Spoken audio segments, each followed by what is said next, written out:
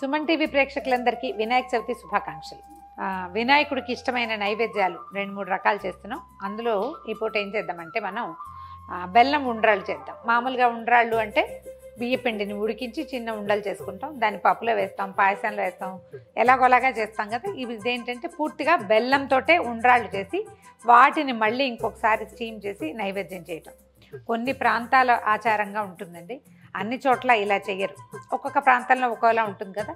ఈ వెరైటీ కూడా చేసి చూపిద్దామని. మనం ఏ కప్పు బియ్య పిండితోటి మనం చేయదలుచుకున్నామో ఈ కప్పుతో రెండు కప్పుల నీళ్ళు పెట్టుకుందాం మొదట. బెల్లం కూడా సేమ్ కప్పే.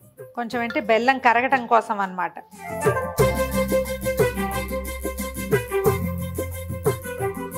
మనం రెడీగా పెట్టుకున్న బెల్లాన్ని ఇందులో వేసేద్దాం. బెల్లం ఏమి మరకలు అంటే మురికి నలకలు మట్టి గిట్టి లేకపోతే మంచిదండి. లేకపోతే ఒకసారి వడపోసుకోండి అది మంచిది. బెల్లం నీళ్ళని కొంచెం తెరలనిద్దాం. దీనికి పెద్ద పాకంగా హడావిడిగా ఏమి ఉండదండి. బెల్లం కరగటమే ఇంపార్టెంట్. బెల్లం నీళ్ళు మరుగుతున్నాయి కదా ఒక పావు కప్పు శనగపప్పుని ఒక గంట గంటన్నర ముందే నానబెట్టుకోవాలి. ఈ నానబెట్టిన శనగపప్పుని ఇందులో వేసేద్దాం. ఇదేంటంటే శనగపప్పు నానింది కాబట్టి ఉడికిపోతుంది. అంత అనుమానం ఏం లేదు. ఇది ఉడకటానికి కొంచెం సమయం పడుతుంది. పప్పు కొంచెం మెత్తగా అయ్యాక అప్పుడు బియ్యపిండి వేసుకుందాం. మీడియం ఫ్లేమ్ మీద పప్పును ఉడకనివ్వండి. ఒకసారి శనగపప్పు ఉడికిందో లేదో చూద్దాం. ఇట్లా నొక్కితే నొక్కుడు పడాలి. చూడండి కనిపిస్తుంది కదా. శనగపప్పు ఉడకపోతే తర్వాత మళ్ళీ మనం ఉడికించేటప్పుడు దీని కస ఉండిపోతుంది. ఇంకో పప్పు ఉడికిపోయింది. ఇది నానబెడితేనే ఇలా కుదురుతుంది మనకి. ఒక హాఫ్ చెక్క కంటే సగం కొబ్బరి చిప్పలో ఒక పావు చిప్ప అనుకోండి. కొబ్బరి కూడా వేసేద్దాము. ఇది మీ దగ్గర కూర ఉంటే మంచిది. మిక్సీలో వేస్తే కొంచెం ద కొబ్బరి తాలూకు పై రంగు కనపడుతూ ఉంటుంది. తర్వాత ఒక నాలుగైదు ఏలక్కాయల పొడి మంచి సువాసన వస్తుంది. ఒక స్పూన్ నెయ్యి వేద్దాం ఇందులో. సిమ్లో పెట్టి మనం పక్కకి తీసి పెట్టుకున్నాం కదా బియ్య పిండి పోసేద్దాం ఒక కప్పు. ఇది కాస్త పలచగా ఉంది అలా అని మీకు అనిపిస్తే కనుక కొంచెం బియ్యపిండి పైన వేసుకోండి కానీ జనరల్గా అవసరం ఉండదు. ఒక స్పూన్ పిండి ఏమైనా అవసరపడచ్చు అవసరమైతే వేయండి లేకపోతే అక్కర్లేదు. కొత్త బియ్యపు పిండి అయితే పడుతుంది పాత బియ్యపు పిండి అయితే పట్టదు అది లెక్క. మనం వేసిన బెల్లాన్ని బట్టి వీటి రంగు వస్తుందండి. బెల్లం కనుక కొంచెం తెల్ల బెల్లం అయితే మనకి చలిమిడి ఇది మనం ఉడకబెట్టిన పదార్థం ఉండ్రాళ్ళ పిండి లైట్ కలర్లో కనిపిస్తుంది. ఒకవేళ బెల్లం మంచి ముదురు రంగు బెల్లం అయితే దీని కలర్ ఇంకొంచెం అట్రాక్టివ్గా కనిపించే అవకాశం ఉంటుంది. ఇంకొక కొంచెం నెయ్యి వేసి ఒకసారి మొత్తం కలిపి దించి పక్కకు పెట్టేయండి. ఇది కొంచెం చల్లారాక దీన్ని ఆవిరి పట్టడమే మనం. ఉండ వచ్చేస్తుంది చూడండి ఎక్కువసేపు పొయ్యి మీద ఉంచితే అడుగు అంటిపోతుంది. స్టవ్ ఆపేసేద్దాం. కొంచెం చల్లారటానికి పక్కకు పెడతాము. వీటిని రెండు మూడు షేపుల్లో చేసుకోవచ్చండి. దీంట్లోని పాలకాయల షేపులో జిల్లేడికాయ షేప్లో కూడా చేస్తారు కొంతమంది. మన అలవాటుని బట్టి మనం ఎలా చేసుకోదలిస్తే అట్లా. చేత కావాలంతే. ఏది కుదిరితే అది చేసుకోవటం. కొన్ని ఉండలు చేద్దాము కొన్ని ఏమో ముఠియాలని చేస్తారు. అంటే మనకి ఇలా గుప్పెటితోటి చేసేదనమాట అలా కూడా చేసుకోవచ్చు. సేమ్ పిండే అప్పుడు రెండు వేరు వేరు పదార్థాలు లాగా ఉంటాయి. నివేదనలకు నెంబర్లు ఆలోచిస్తారు కదా.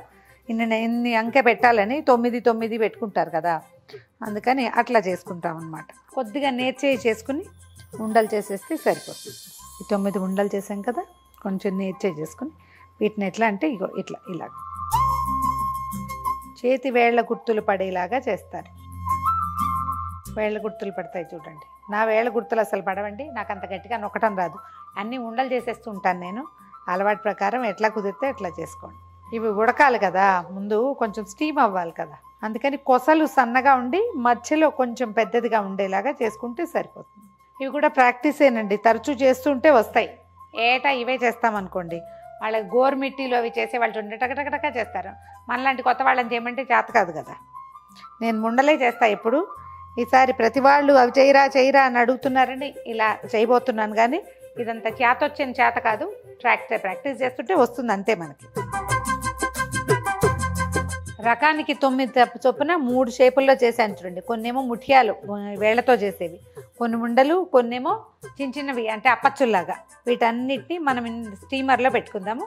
ఇది ఐకియాలో దొరుకుతుందండి. దేంట్లో కావాలంటే దాంట్లో పెట్టుకుని అంటే పెద్ద పాత్రలో పెట్టుకుని స్టీమ్ చేసుకోవచ్చు. అన్నీ పేర్చేద్దాము.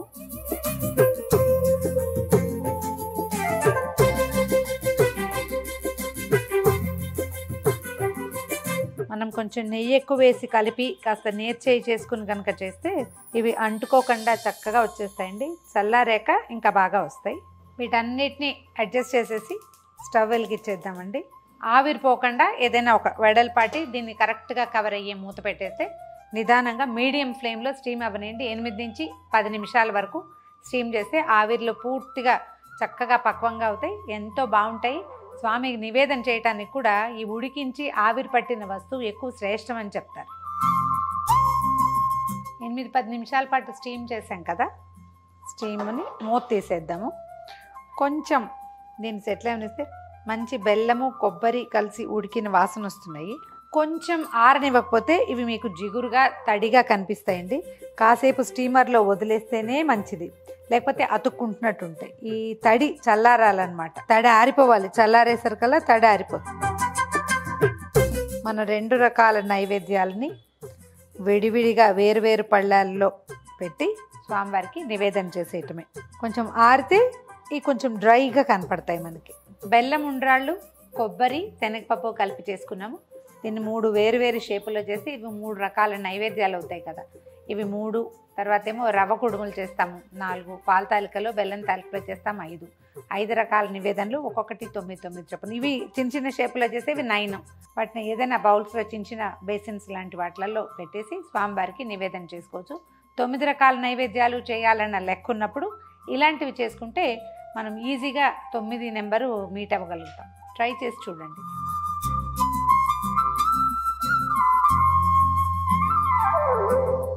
ఈ వీడియో కనుక మీకు నచ్చినట్లయితే లైక్ చేయండి షేర్ చేయండి.